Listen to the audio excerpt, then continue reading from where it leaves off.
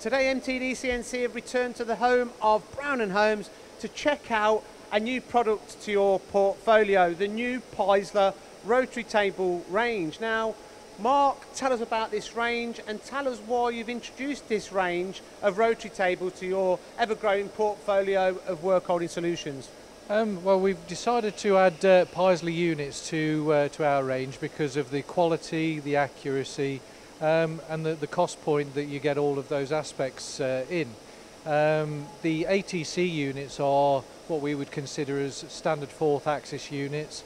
Um, they can be used in the, the vertical or the horizontal uh, um, uh, attitude, depending on how you want them set up on your machine tool. Very similar to a lot of other competitors. Um, the nice thing about the ATC units is that they are a modular design. So uh, that means that we can have the motor uh, or motor and gearbox and, and encoders either on the left hand side or the right hand side depending on your setup. Um, the unit that we see here is an ATC 160. Um, the, uh, the designation of the unit doesn't indicate the faceplate size which might confuse some people um, but uh, it's, it's a nice compact unit uh, this version has the uh, 4 plus 1 rotary manifold on there, so if we want to get services through uh, the, uh, uh, the, the rotary uh, table, then that's, that gives us that facility. So, for example, if we were putting on an auto, auto fixture, very similar to sort of the, the, the trunnions that Brown and Holmes are quite renowned for. Now, it's a very impressive unit. I mean, what really strikes me to start with, Mark, is the compactness of this unit, the footprint of the unit. It's a very small casting. Hmm. Um, Tell us about, you know, it's a German manufactured rotary table. Tell us about the casting of the rotary table to start with and the rigidity of it. Um, well, it's, it's a nice solid casting like you can see. Um, it's, uh, it's, it's a, a good strong body of, of a unit, um, all machined nice and accurately. Um, the, the, the, one of the main features with regards to uh, the ATC unit and a lot of the other Peiseler units is the, is the worm and, uh, worm and wheel. Um, so uh, Peiseler use a split worm um, with a uh, like a progressive form on the wheel, which means that there is more engagement on, on, the, on the actual gear. Um, this gives a, a, better solution for anti-backlash.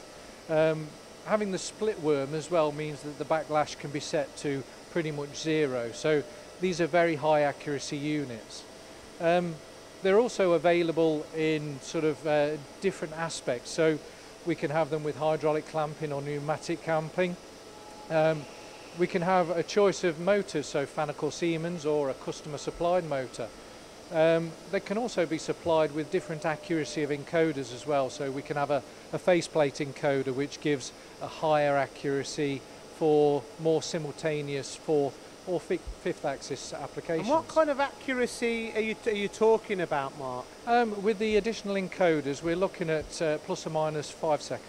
So it's very accurate. And now, that can go in, uh, a little bit further as well with a more high accuracy to two and a half uh, seconds as well. So it, it's obvious then that it's very accurate, but with this small footprint, have you still got the rigidity that you may need for you know the hard materials, heavy applications? Yeah, very much so. I mean, the, the bearing arrangement and the uh, and the, the, the, the, square structure of the of the casting, uh, the the minimal machining to ensure that the body of the casting is is rigid, gives you a good solid uh, fourth axis unit.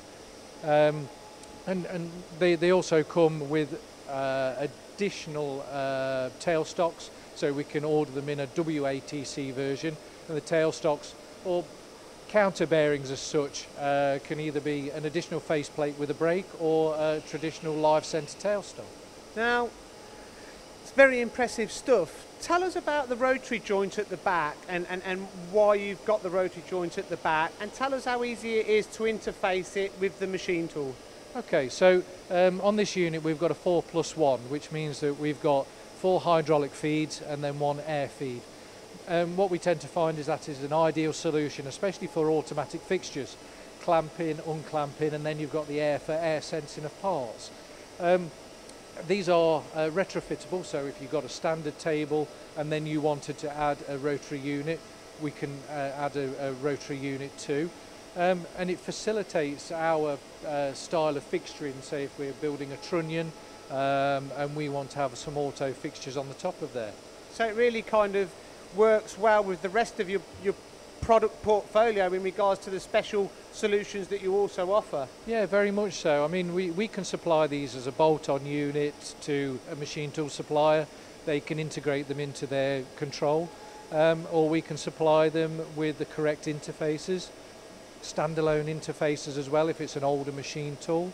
Um, or we can put them in as a, as a whole turnkey solution. So I'm looking at a, an application at the moment with a, a large unit uh, a non-standard uh, unit, but a, a, beautiful large unit with a manual steady and a, a, tailstock at the end so that the customer can mount that to and from his bed in a whole lift-off application, reduce setup times, etc., which everyone seems to be very interested in at the moment.